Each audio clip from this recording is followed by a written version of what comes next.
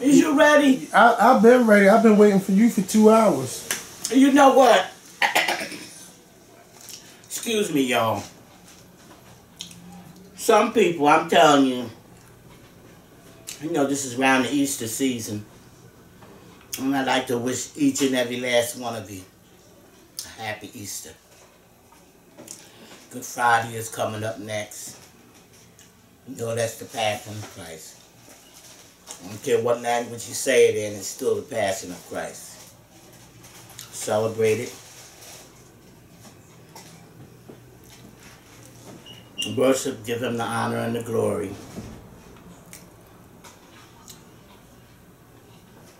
And let's hope it brings a little bit of peace in this world. Because in my city, it hasn't brought anything but violence. There was so much violence in this city last night till it was ridiculous. Shootings everywhere. I tell you, it really makes you feel bad. It makes you feel sad that uh, it seems like that's all we're about is how we can kill each other. You know, we haven't progressed very, very far and very much in all the centuries that we've been here. It's just in the type of uh, things that we use to kill one another.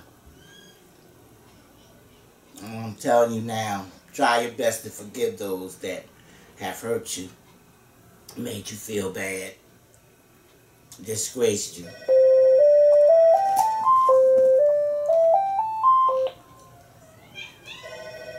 All you had to do was leave it unproved. Go ahead. Just go ahead. Talk. Make you feel bad or whatever. All right, now, my babies. I see a few of you have stopped a little bit to listen to what maybe I might, what I have to say. Because what I have to say is my opinion, nobody else's. I don't know if it's going to fix anything or help anyone, but I hope that it can. Or even make you feel a little bit better. Or even make you know that you're not the only one who's having trials and tribulations in this world. I just want you to know that you're loved regardless. Who you are, what you are, or what you think you are, you're still loved. Alright, let's get on. All right. This first question. Um, this this title, Young Love. I just want you. Oh, make sure y'all uh thumbs up and share this video. Thank you. And when you write in, please keep it two paragraphs or less. The paragraph should have at least five to six sentences in it. I want you to get straight to the point. We don't need a backstory. We just need the point of the letter. All right. So, I just want your opinion on my current situation. I am a 20 year old college, what? I'm a 20 year old junior in college and have never been in a real relationship. Mm. My parents want me to get out there, but I feel it's a waste of time and money Mm. since I'm not ready to marry anyone at the moment. I have a loving family and good friends, so I'm not lonely.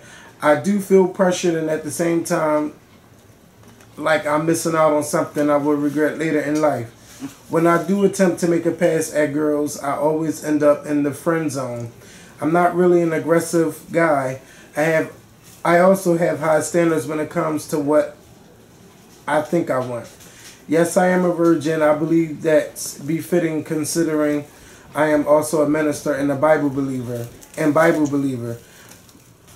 But I don't want to use my title as an excuse for not dating.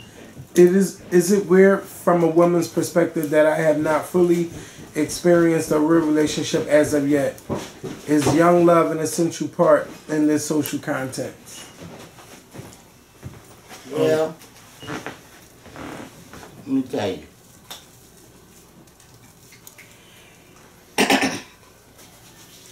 Keep thinking the way you think you might not ever get out there.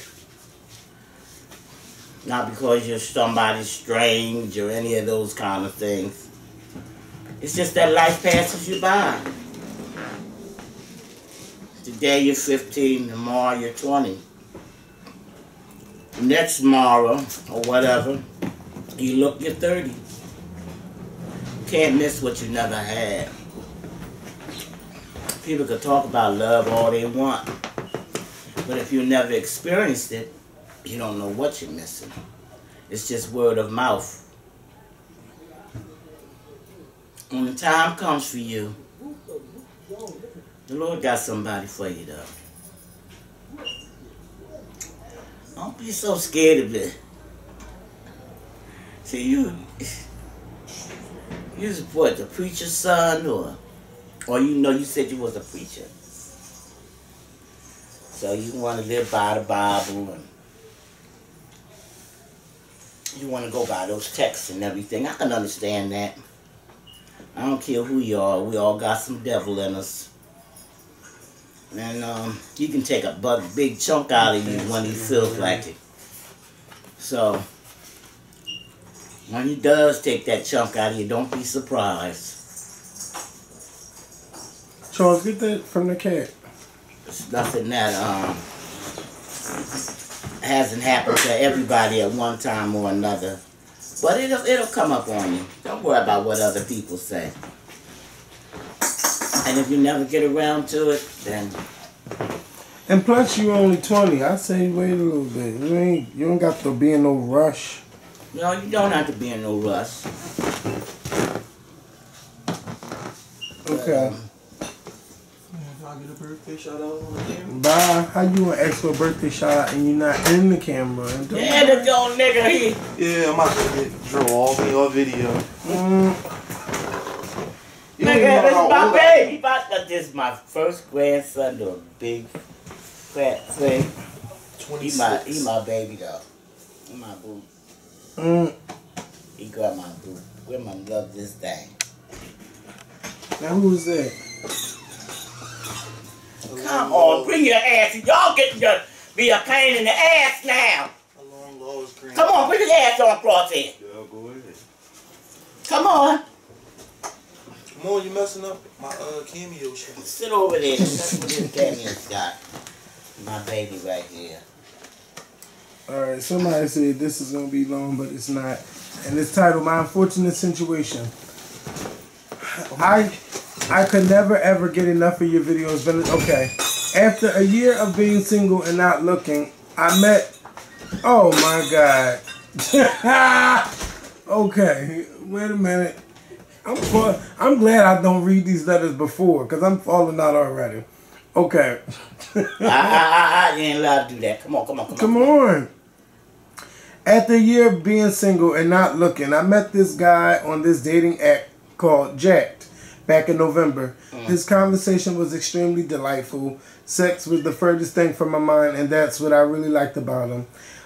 After about a week of conversating, I felt comfortable enough to take him on his offer on meeting for coffee. There are so many great things to tell. However, we've been dating since then, and I don't know how to tell him I don't want to see him anymore. Reason being, I don't find him sexually attractive, and the chemistry in that department is just off. I've tried to overlook it, but I can't. He can't kiss, his hygiene isn't always lemony fresh, and he says he's in love with me after only knowing me for five months. That freaked me out. There was a time after quite a few drinks, I was going to invite him back to my place. Just, I'm not saying that, just to see what the dude was all about. This invitation was on short notice, so that would lead to assume he wasn't prepared. Mm-mm, don't, uh-uh, don't be writing all of this stuff. Oh, come on. Try to give up again. When I was trying to get into it and work my way down to it, I damn near went into a respiratory failure. It was it was so awkward. Please help. How do I do this tactfully? Well, five months is, is, is it's not a, a long time, I will admit. But see, a woman has to groom a man the way she wants him to be, not the way he wants her to be. Both of you are really grooming each other. Excuse me. And what you need to do is um, have a little intimate moment where y'all take a bath together. Give him that shower. Slick him down from head to toe. You get some underwear that you like to see him in. God, when you put him in the underwear that you want to see him in, if he got any type of body, he don't have to have a a beautiful shape or nothing like that. Just a halfway decent shape. Girl, you put him in some decent underwear and put him in the cologne that you want him to smell like. What excites you, not what excites him. You know, you putting on something that, that don't excite you, ah. You get him a small bottle or a bottle of something that you like. Make you want to say, rah, rah. You know what I mean? That's what you looking for. You want to lick him up and lick him down. Ain't nothing wrong with that. Teach him about hygiene.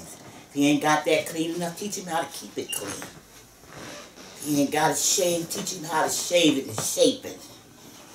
You know? Teach him what he need to do, what you like. Then when you got it the way you want it, you go in for the kill. Show him. He don't know. He young like you. He thinks he's doing something. Train him to your ways. Not to Molly and Mary and this one and that one that might have had him before you. Treat him to your ways. Tell him what you want. And after you do that, if that don't help, then you tell him you outgrew each other, that's all. And it's time for you to move on. You can't be, he's just not appealing to you. But you got to try that first. Train him to your ways. Girl, have him smell the way you want him to smell. Wash that body up from head to toe. Toenail, fingernails, up nails, foreskin, every damn thing.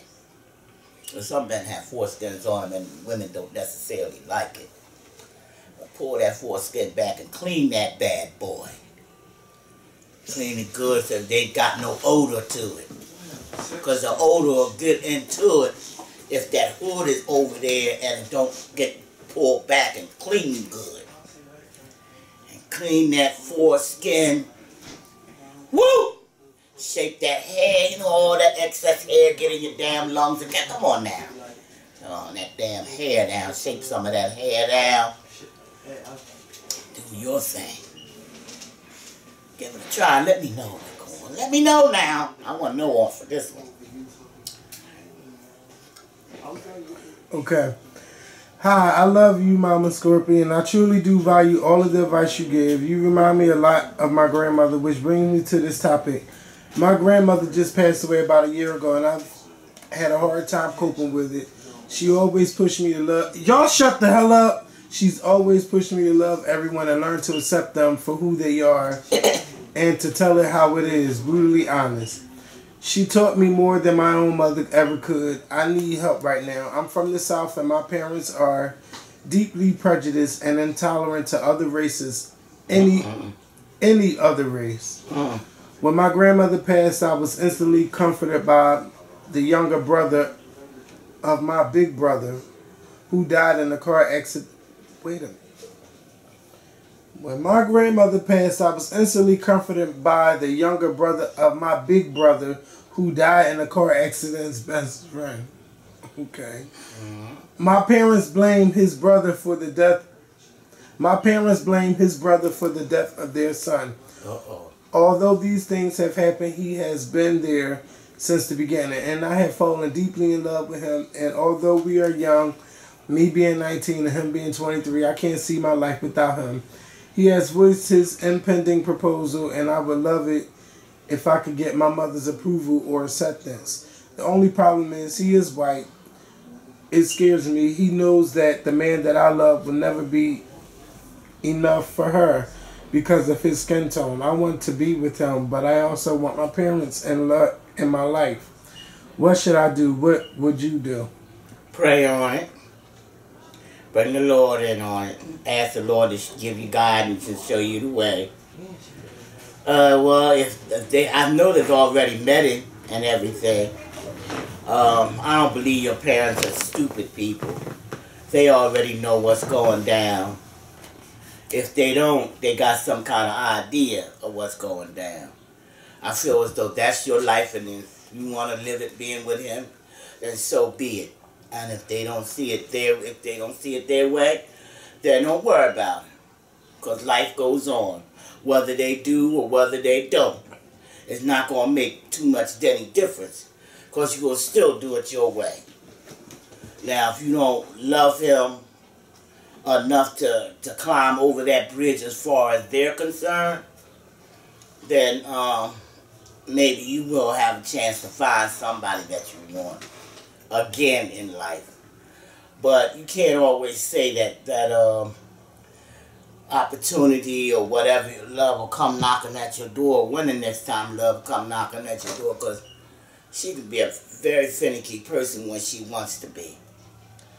But if that's what you really want, even though other people may not see it your way, like I said, that's your life. You got to live it. They ain't got to live it.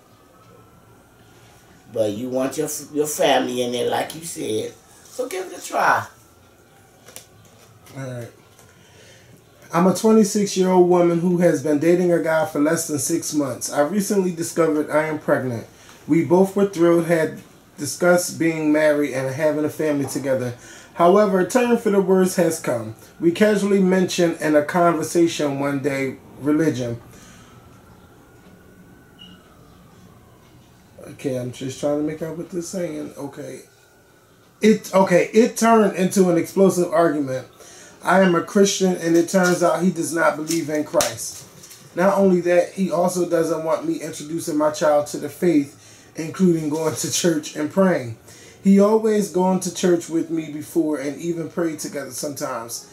So now that a child is in the picture, I can't see where this is coming from. I know this is a conversation we should have had before sex, but what am I to do now? I am a solid, devout Christian, and I want my child raised in church. I can't imagine I can't imagine my life without it. We are both stubborn. After the argument, the disconnect and tension is so thick in my home now. I need peace, and I know I. Okay. I know. I'm going to just skip that. I need peace. Oh my God. But have you? Oh, I'm sorry. Oh, come on now. You just- reading it all. I don't get to know. But they need to write these Come damn. on with that. They need to write these damn letters right. But go ahead. Just uh, just tell them what your opinion about the situation.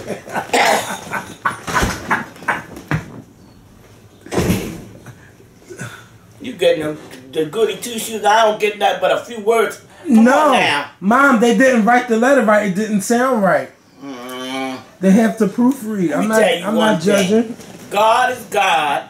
I don't give a hoot nanny what language he's in.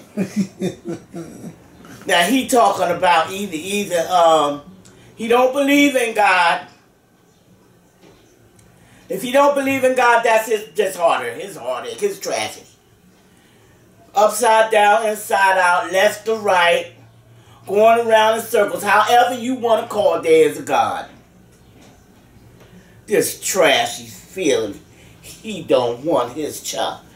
It ain't even got here yet. He hollering about how he wanted to be. You ain't said y'all was married.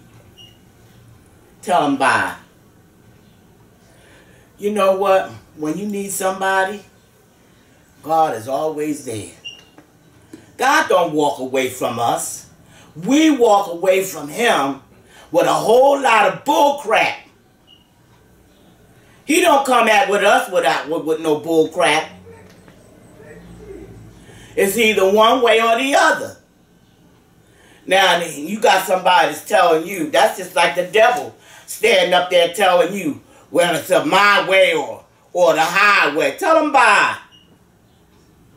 You don't need that. I don't care what language your baby learned that there is a God. He need to know. He need to know there's something greater than him. And God is greater than anything or anyone. will ever be or think they are. Everybody wants to be ruler of the world, but nobody wants to do the right thing. Ain't that some shit? Shoot. Girl, you got yourself something on your hands. Pray on it. God is there for you. Then again, could be a test to see how you feel about him. Because God like to know how we feel about him. We all want our, we always want his love, his appreciation. We want him to give us so we'll have the finer comforts of life. But what do we give him? All we ever do is blame him for everything that goes on and what happened, and it ain't no damn body's fault but ours. We blame him for everything. You think about it, and let me know what went down. I'm talking that trash. Okay. I really respect you. You are like the town's elder who I would love to come to for advice. So here I am. I am in a long distance relationship with a white guy. He lives on the west coast and I live on the east coast. Mm. I was in a I was in an abusive verbally and physically I'm gonna just read it just like it said.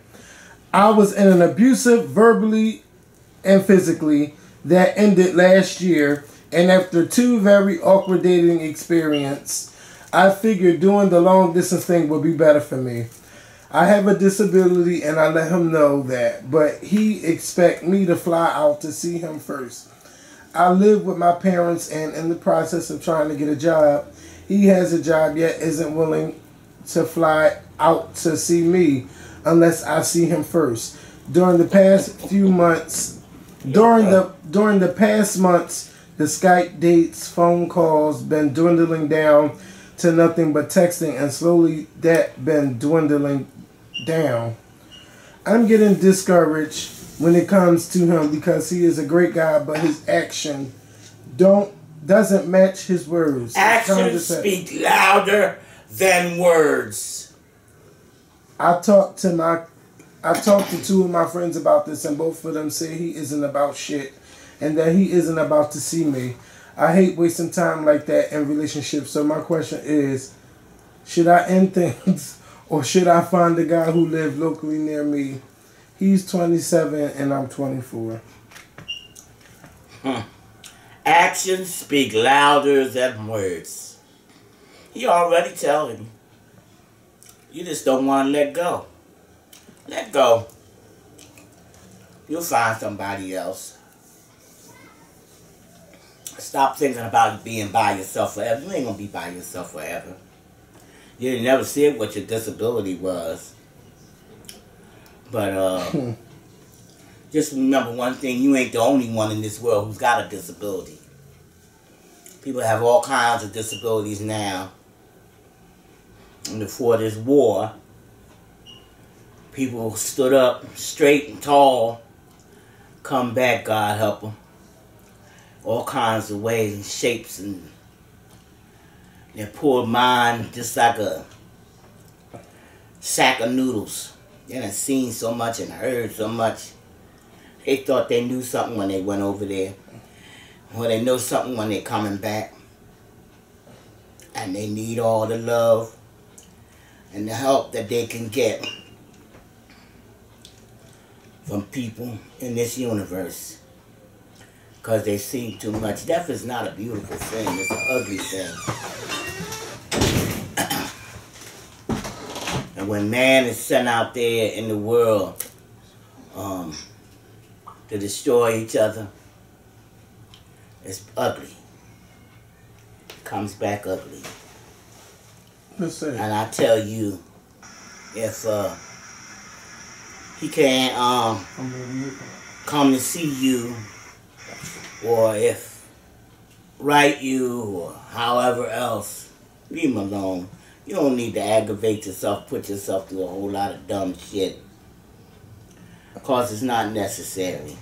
You can stay right there in your own town and put yourself through some dumb shit. So you don't need him to do it for you. So uh, just tell him um, life has passed you by, or just don't don't text them no more. Just, just leave it be. Just drop it. Just drop it right yeah, there. let it go. Drop it like a hot potato. Man, you know she don't want that up there. This one so everybody will be running up and and ringing the bell. All right. You just make sure you put it down when you when you um. You never have to knock you in your head, Charles. Okay. I'm gonna get through this one. I'm in a dilemma and it has been wearing hard on me on my mind for the past few days. Mm. My best friend has a boo who doesn't want to commit to her, but she is head over heels and put puts her all into him. Anyway, this past Sunday, a group of us friends went out, including him. The next morning, I checked my Facebook and see a message from him. He left at 3:45 in the morning. In the message, it pretty much just said that he had a good time and was glad he went. I didn't know if he was drunk or what, so I didn't respond. Later that day, he messages me again, this time giving his phone number, and asked me to send him the picture that I had in my phone that we took, that we all took that night. Instead of sending them to him, I sent them to my friend. Mm. I feel totally uncomfortable and know that it is inappropriate. I, of course, I would automatically tell my friend off the bat, but she is very, very extremely sensitive to everything, unless the smallest thing send her into depression mode. She is already heartbroken that he doesn't want to commit to her and feels nothing ever goes right for her. Should I tell her and risk her going over the edge or just let it go? By the way, I sent him a message back telling him that I don't find it appropriate for him to message me privately. His response was, Cool, it be like that. I understand. Well, for one thing, your friend's gonna get upset anywho. I don't care how you may call yourself trying to give her that glass of water to drink. She gonna choke and spill all over the place anyhow. And she got to find out that life is not gonna always go the way she wanted to go. He ain't gonna be the the last man she ever loved. You think that person you can't live without that person and oh God, you wouldn't that'd be the last thing you got to love and you can't breathe, you can't eat without him. I, I admit it will try to run you crazy. Cause love can be pretty nasty when she wants to be. Oh, she could be so many things.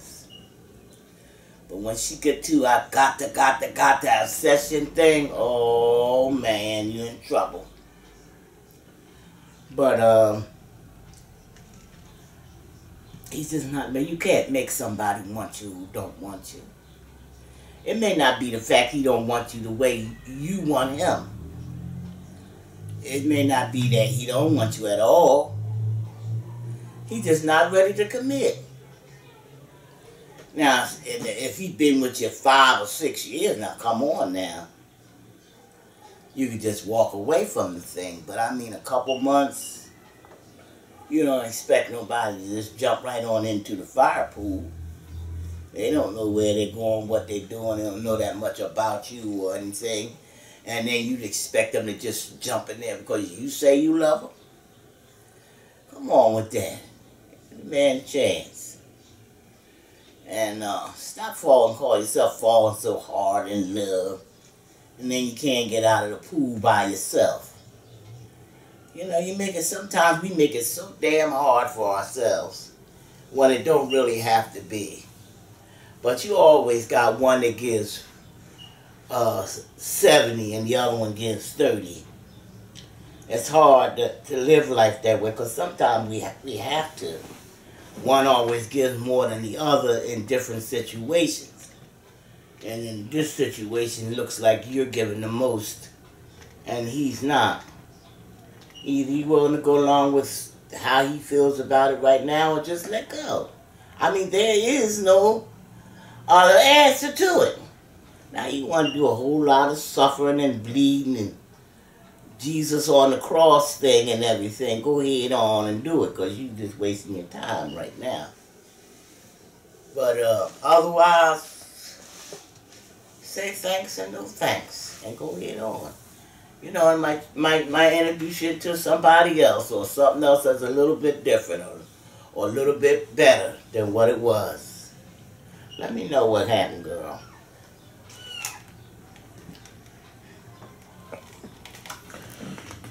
First of all, I love the advice you gave Mama Skorpion. It's truly a blessing. Well, I was pregnant and due April 9th. Last month, March 10th, I went to one of my routine checkups and my baby wasn't moving much, so the doctor decided to induce me. My husband and I went to the hospital, checked in, and a nurse started hooking me up. They put the monitor on my belly, but couldn't find a heartbeat. Several, several nurses tried to locate a heartbeat, but nothing. My doctor came in, did an ultrasound, looked at me, and said my baby was gone. I screamed and cried till I blacked out. The only thing I remember was being told I would have a C section. I have been so depressed and I just don't know how to keep going. I can't believe at the age of 25 I had to bury my first child. I'm lost and scared.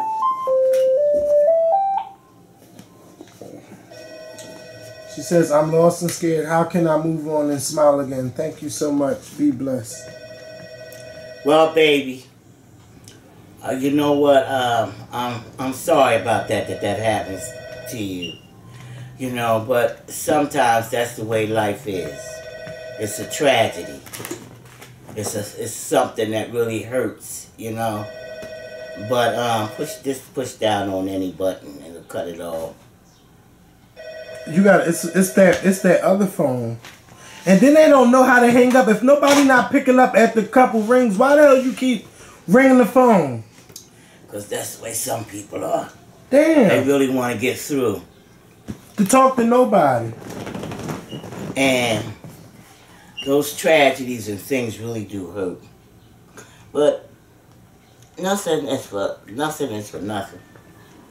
I'm not saying that it, it, it, when things happen, sometimes it happens for a reason, and it just wasn't meant for that baby to come here at that time. But she'll come back, and you'll have more. And God held it up for his own personal reason, not maybe necessarily yours, but his. And um, just thank him for his guidance, his understanding, because it have not been at the right moment, the right time, the right place. Uh, even though we're not meant to bury our children, sometimes we have to, and that's a very, very I can speak on a painful thing. And a lot of times it takes us a long time to get over it. But with God's help, prayers and understanding, What's wrong with this? Oh, the boy out here to fix it. Excuse me. Go ahead, just go ahead. Myron, you can keep talking. his uh, understanding and whatever. bring it up. Oh, okay, no problem. Come come take that out. Yeah, yeah. You selling free freezes. Exactly.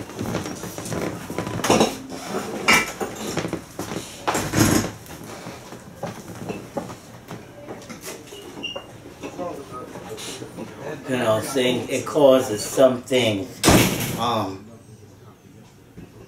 to happen, and we wonder why. Don't be lost, baby, don't don't don't let it don't don't take it that deep. Don't let it go that deep. Just chalk it up to the next time and go with it that way. Go with the flow. Go with it that way. And don't think, oh, uh, God don't love me no more and all those kind of things. No, we ain't going there. Because he knows best. But he a lot of times gives us experience in a lot of things that we never had experience in before. And just ask him to be with you. To help you to be strong, strong minded, strong willed, and to live life his way. Put your hand in his hand. Because like I said, God is there all the time. It said that do we put our hand in his hand and hold on, or do we blame him for everything that happens to us? You know. And uh, sometimes while we doing all this blaming, it could be something we did, something we ate, something we did, something we did.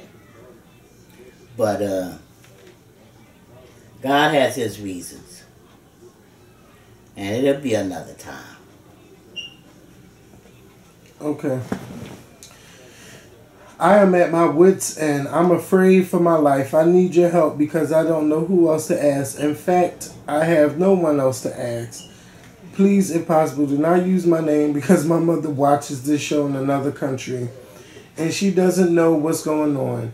I have been an international student for almost 10 years now. I met this guy I thought was wonderful and loved me for me and cared about me very deeply. We dated for a couple months then he asked me to marry him. When I did so, all hell broke loose. We were only married a month in my eyes because he went missing with my money for university and my car. And it turns out this man is a con artist and just married me so he can take my money. He is now sending me threats saying that he's going to report me to immigration for fraud, stating our marriage was fake because I reported him to the police. What should I do now? No one will believe me because I'm an international student and he's an American citizen. I haven't been able to sleep. I cry about this every day because I trust in him. I care for him. Oh, and P.S. Now he says he's gay, and I don't understand how someone could be so wicked and hurtful. I don't want to go to jail for something I didn't do. Please help. This don't sound real. Well, like I said, God put it in God's hand. Put your faith in God. Do what's right. You don't nobody run your life. You don't nobody put a gun to you. That's like, like putting a gun to your head and saying pull your drawers down. You're gonna do this dance and this jig the way I tell you to do it. You ain't on TV. That's the same shit you see on TV. And uh, you ain't no bad person. You haven't done anything to anybody. And you're not no jailbird or none of them things. So you ain't got none of that against you. So you just have to put your faith in God and go ahead on. You know, a lot of times people want to um, threaten us. Go ahead and put in for an annulment. Because you're not together and um, or not unless you just want to wait uh, for that year. People um, who know you know whether you're married or not um, can um, speak up for you, can vouch for you, how you live your life. All these things come into play. Uh, I know you have have, have somebody that some or some people that can speak up for you. You ain't the only immigrant here in this world. God knows there's so many of them till it ain't even a joke. Don't be scared of it. It should have took you out of that realm when you got married to him. But now he wants to play a game and and throw stuff like give me some money or this. And tell him to go fly. Mm. These people be so young getting married, like two, three months. That's really taking me out. All right. Think we got two more. About three years ago, I graduated college, moved from Jamaica to New York, and started a new job. I am a gay male and wanted to live in a city that was not homophobic, unlike my home country of Jamaica. When I started my job three years ago, I was an administrative assistant at a major software company. Within two months of being there, I entered a secret relation relationship with my manager, who is okay. We okay. My six month anniversary was with the company. He promoted me to an account manager. December 2013, I told him I did not want to be in a rela- secret relationship anymore. And he told me he would think about it, but he was not ready to let people know about our relationship. Especially because we work for the same company and that may cause some problems. Contra- conflicts of interest, he said. In January, he promoted me again to senior account manager, and I was just on top of the world. Granted, I felt like he was the he only promoted me to shut me up, but I accepted. The salary is good. So now March come around, my boss hired a new guy to fill the position that became vacant because of my promotion. The new guy is very attractive. About two weeks ago, my boss, who has been my boyfriend all this time, has been giving me a lot of attitude, and this new employee is acting like such a bitch towards me. Yesterday, I saw him and my boss having a conversation together in the conference room, and they looked mighty close, just like how we started our relationship. My question to you is should I be concerned? I really do love him and want to spend the rest of my life with him. We've always been good for each other, but this changed when this when this cunt start working at the company. What do you want? I mean, come on now. It's like you ain't seen the handwriting on the wall. Speak to him about it. Find out which way he want to go. Want you to find something different someplace else. See if you can get a position somewhere else. Uh, maybe in the same company, if that's not just one company. And um, give you a position, um, like I said, somewhere else. Whereas you both don't have to let the whole world know that you're affiliated with each other. Um, it can be a little hard and especially if you if you want somebody still to be your own and then you see him with somebody else that's a hurting feeling it's very hurting but uh, obviously it shows that person has uh, outgrown you and um, he don't really want to be bothered with you anymore so I'm just go ahead and chalk it on up you that ain't the only fish in the sea my god all them fish all them fish in the sea, and you got to be hooked on one flavor. Look, maybe it's time to move on anyhow. Stop looking at life so doggone serious. And be happy with it. Because some people didn't wake up this morning, you know. Some people ain't going to wake up tomorrow morning either. So live life and be happy. Stop sitting around feeling all sad and oh, whoa, whoa with me. Now, let me tell you some of you people something.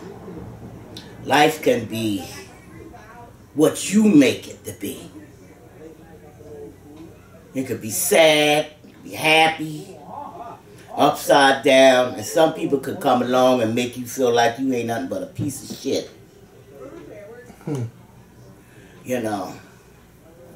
Well, shit ought to know shit. You know, you run your own life. Wake up to the sounds and the harmonious things that's going on in life and live your life to make you happy. We sometimes get out there and try so hard to make other people happy. But who tried to make you happy? Who put their arms around you and loved you? Even for a hug or kiss. You know, my granddaughter walked up to me and uh, she said, come here, Grandma. Oh, she, she a little, uh, pretty little thing. Put her arms around me. Whisper in my ear, you, you, you know I love you. And give me a hug and give me a kiss old big old, and she been out the streets sweating and running all up and down. You know I love you. She kissed me sometime and run on about her business. And uh, at first when she started doing it, you know, I kind of jerked back, you know, because I, I wasn't looking for it, you know. And I said, said to myself, what the, bitch, what you jerking back for? What you, what the fuck is you jumping back for? This child's trying to give you her affection and her love that she feels at that moment after she coming out the street all dirtied up and everything, you know.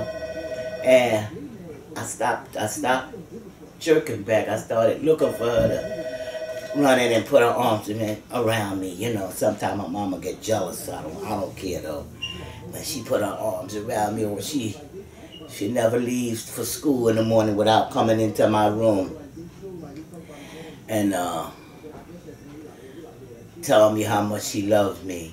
We have a little signal thing that we do to each other to, just that says we care about each other and I, and I love you. And she give me the signal and I'll give her mine back. And said, I'll catch you later when you come when I come back here. And she give me a hard way to go. Don't think she don't. She thinks she Miss Cutie Beauty. And she does a little things that ain't supposed to be right. But I get with her. Don't believe I don't. I get with her. And then I got I got one that they call Jack Nicholson. Jack Nicholson, boy, I tell you, that's me all the way. That's that's my great granddaughter. She just like me. I, I used to be one of them little kids. I was I was wild out in the street cause I was taking care of myself. And back in them days, you ain't had no babysitter. You was your own babysitter.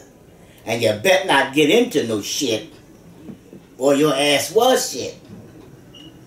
And I tell you, if you got some of them strap whippings, stick whippings, and all other kinds of weapons. you did what you was told to do and didn't question it. Or these little monkeys now, they just feel, do I do what I want to do? I ain't got to answer you. You you ain't my mama, you ain't my daddy. Well, I'm going to prove I ain't your mama, I ain't your daddy. But you know, it, it gets hard sometimes when you out there by yourself and you want to live your life. And you know, picked up on this extra soul that's got you got to drag it along with you. But uh, I tell you, just hang in there. It'll be all right. Because they don't stay little always. And they grow up. And you look, they nine now, then they 12. And then you turn around and 15 or 16. But don't stop teaching them and telling them about life. Don't stop getting getting after them. Don't stop teaching them the difference between right and wrong, whether they believe in what you say, whether they like what you say or not. Don't stop. Just keep doing what you're supposed to do because there's no book for a man and woman to be mama and daddy. There's no book. They've written many a book. But who knows? Who knows whether they're right and whether they're wrong? But we all make mistakes. Mm-hmm. All right, mom, wrap it up. You know. Is that it? Ain't nobody else? It's more, but I'm gonna save them for next week. All right. And I'm gonna tell you all, love each other. Like I said, the Easter season is upon us. Give God the honor and the glory, not man, God. Because without Him, we are nothing, nothing, nothing. Believe me, He is everything. If it wasn't for Him, I wouldn't have this little raggedy piece of house I got here. And I tell you, to wake, to wake up in the morning, I got the aches, achy knees and everything, but to wake up in the morning, it may not be much to nobody else, but it's a lot to me to be able to lay there if I want to lay there. I've gotten up a many a morning and poured out in the street ever since I was a little girl. And to be able to, to lay there if I want to and don't have to get up is a whole lot. Others feel, well, why ain't you out there? I, I don't have to, I got to run out there. Why ain't you still running out there? Because God gave me that right that I should have a little teeny bit of rest.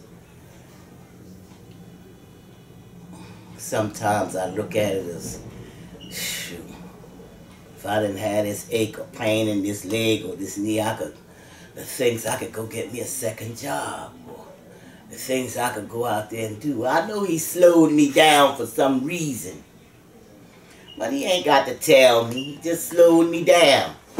I could still do a lot of things. But uh, that pain has stopped me from doing it. I ain't trying to take no pain pills, be a, a pain Jane. you know. You always got to be popping pills. I've never been a pill person anyhow, but I tell you, love life, worship your God. I don't care what you call him. Worship him. Because without him, you're nothing. And we are all so miserable. And it just, I just, just, just sit down and take a minute and look at people. Listen to people, what they say. And it's, it's really so sad. We're really so sad. But we don't have to be that sad. God gives us this life to live. He gave us this life to be happy. He gave us this life to live, to learn. Learn. Something got to happen to you 15 times before you catch on. Come on with that crap. You know what I mean? It don't take that long to learn. It don't take a baby long to learn to long, long to learn something. So it shouldn't take you that long either. And learn how to sometimes be satisfied with a little bit. You ain't got to have a whole damn pie. What you need with a whole pie anyway? A slice is better than none. At least you did get a taste of it. Life can be awful bitter, and then sometimes she can be so sweet and delicious. Have a nice holiday.